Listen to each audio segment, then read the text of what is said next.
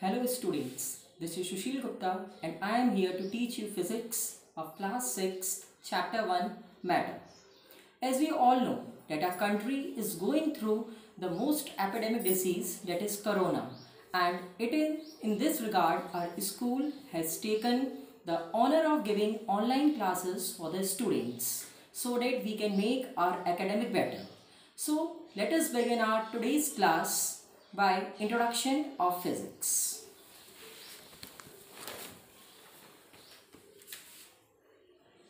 Class 6 and introduction to physics.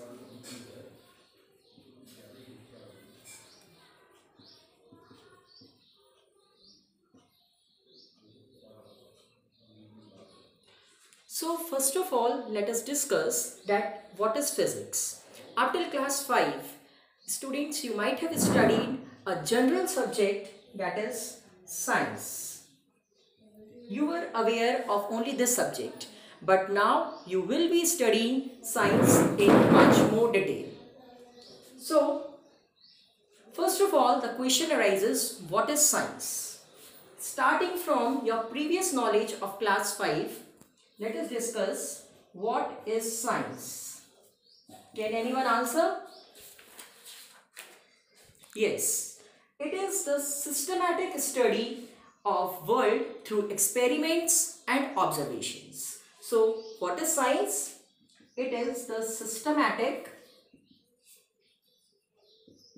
study of world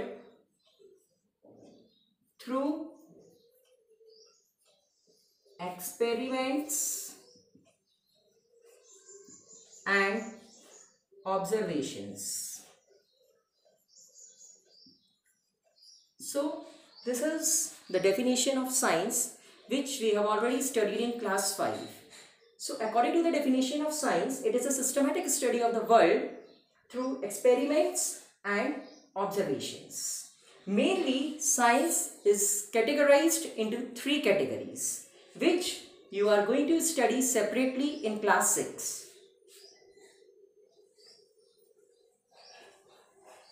Science is classified into three categories. What are they?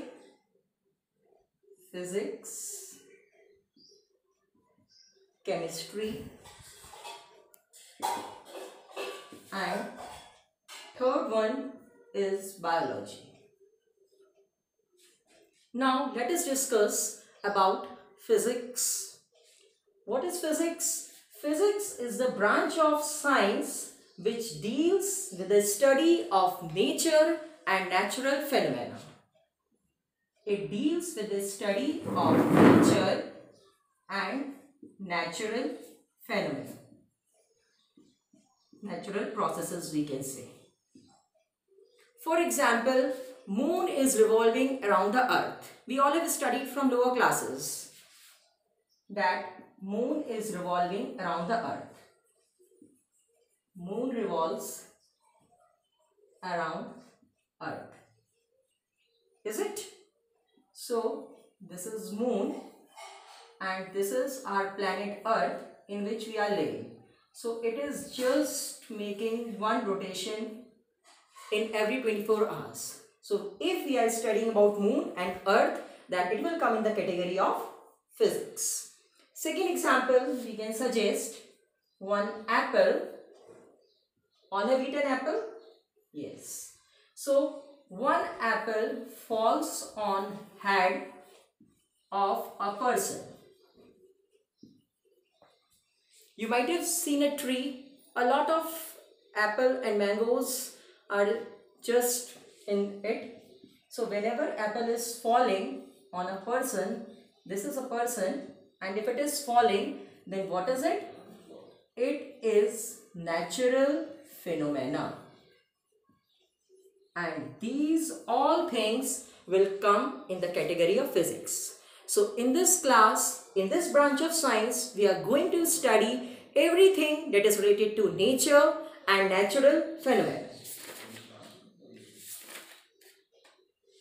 Now, let us begin our chapter 1. So, what is our chapter 1? That is matter. So let us begin with it. Chapter 1 Matter. What is matter? Anything which has mass and occupies space is known as matter.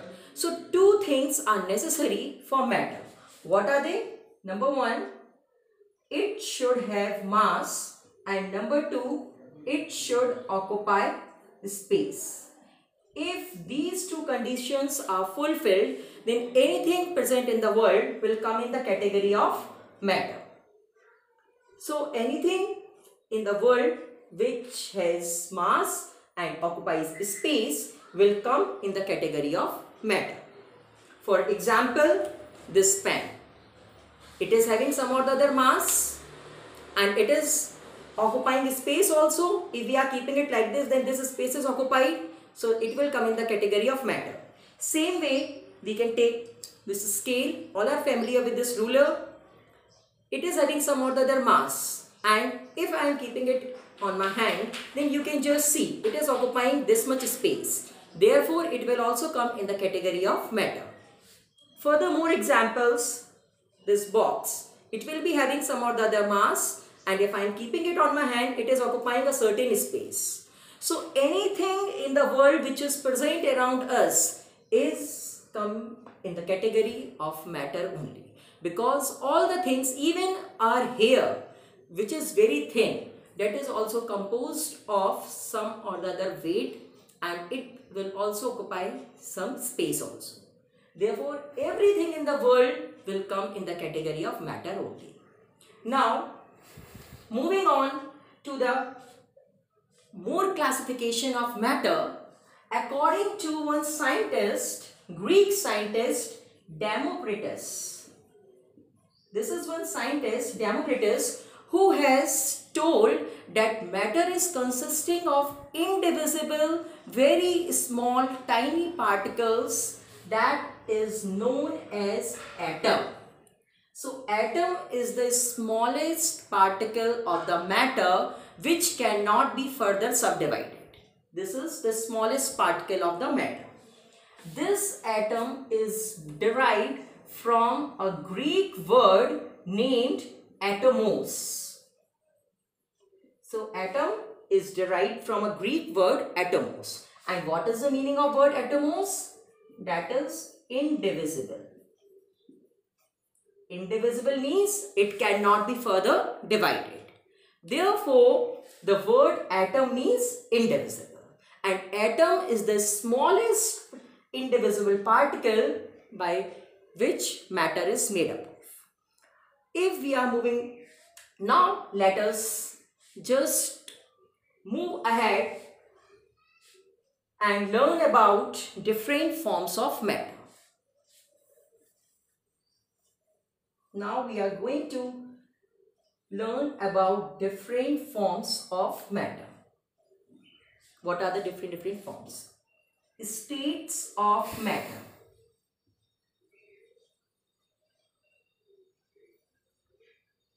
There are three states of matter. Matter can be classified into three states. What are they? Number one, solid. Number two, liquid.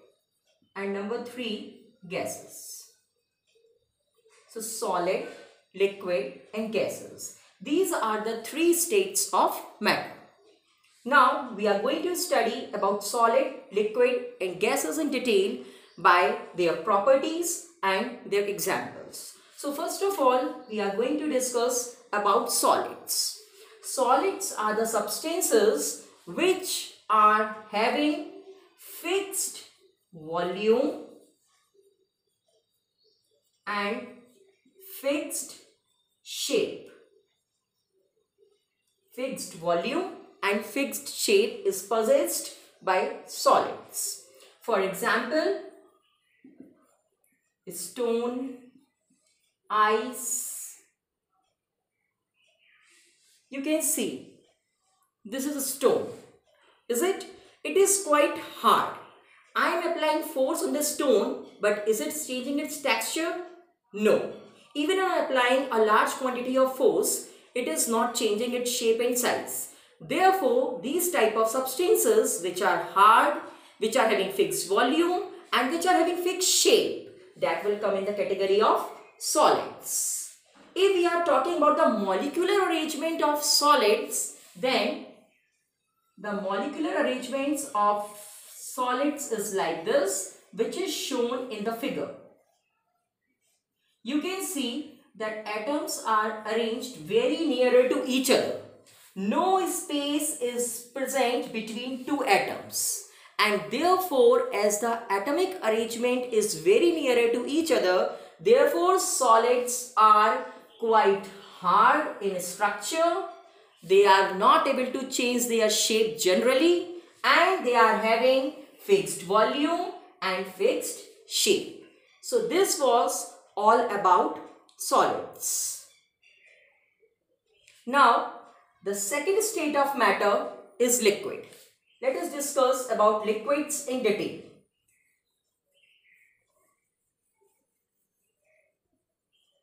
Second state of matter is liquid. It is having no fixed shape but fixed volume. Fixed volume is there but no fixed shape.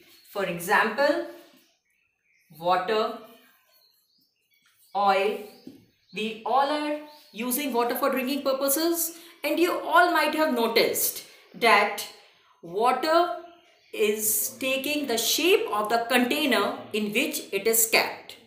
Let me show you. Just you can see. This is a water bottle. Okay. 1 liter of water will remain 1 liter but if we are pouring it into another container then it will take the shape of the container. Means it is having no fixed shape but fixed volume. Let us see. It is right now the water is capped in the Milton bottle so it has occupied this shape of the bottle. Now if I am pouring this water in the glass you can just see that it has just took the shape of the glass. Is it? And if I am taking this box and if I am pouring this water in the box, you might see that it has taken the shape of this box. So from these, what conclusions we can come to know? We can come to know that liquids are the substances which are having fixed, no fixed shape but fixed volume. Is it clear to all? It takes the shape of the container in which they are kept. Why it is so? Because the molecular arrangement is little bit far as compared to that of solids. In solids, the molecules were very nearer to each other. They were tightly packed. No intermolecular space was present. Therefore, solids were hard. But here, atoms are having few space between two atoms. Between each other they are having a space and therefore they are having fixed volume but no fixed shape.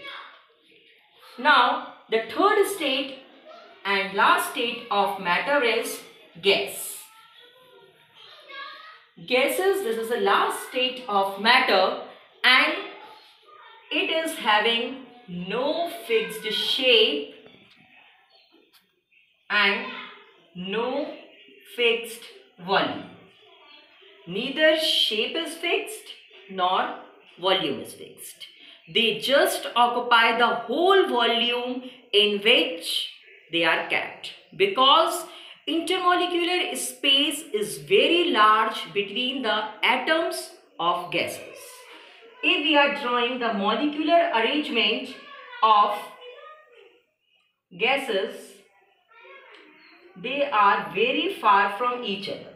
And if they are very far, definitely this state of matter will be having no fixed shape and no fixed size. For example,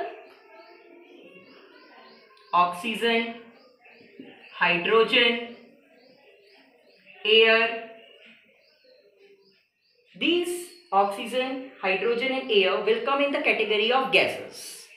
They spread in whatever the space that is available to them. If the gases are stored in this much container, they will be just occupying the space of this container. But if it is kept in big container, then they will be occupying the space of big container.